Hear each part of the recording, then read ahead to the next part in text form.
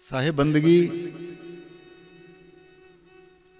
आप सब जानते हैं कि इस दुनिया में अनेक संत, महंत साधक, पीर, फकीर, ओलिया हुए और उन्होंने अपनी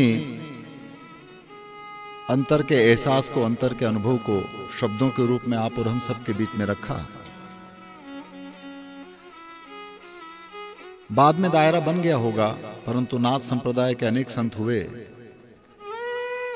भवानंदनाथ जी महाराज, ने भी कहा कि तू उसको कहाँ खोज रहा है यार? वो तो सब घट के अंदर पूर्ण रूप से प्रकट हो रहा है, सभी घट में मौजूद है।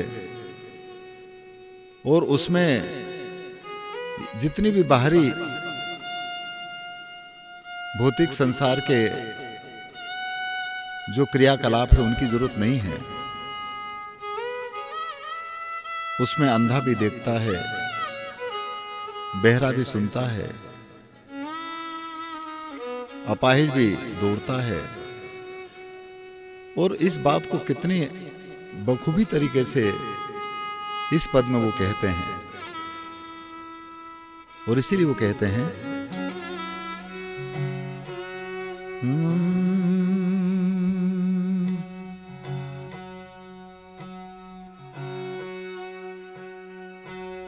एज बिन देखे वा देश की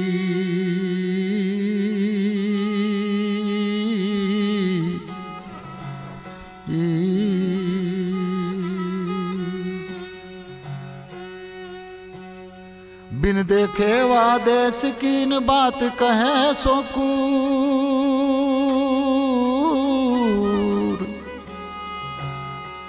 आप ही खारी खात है रे। और बेचत फिरे कपूर।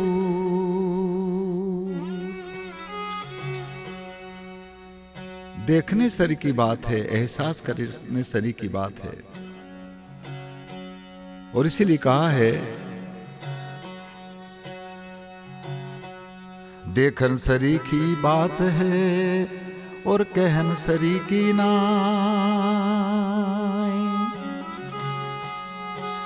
सतगुरु भेद बताविया तो अंतर सूजत माही। इसलिए इस पद में कहा है